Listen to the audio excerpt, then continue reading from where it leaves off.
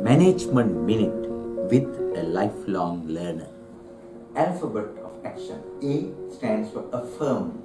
Affirming yourself that you can do. Having the can do attitude and not the T of can't and make it can.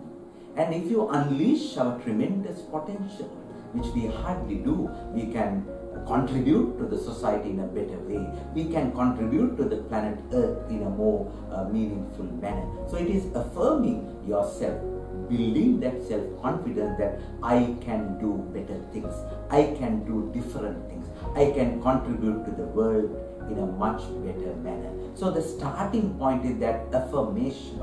It's a mindset more than a skill set and a tool set. So if you look at all the winners on earth, all the achievers on earth, all the people who have accomplished something, they affirm themselves to begin with the right attitude, affirming themselves that they can do.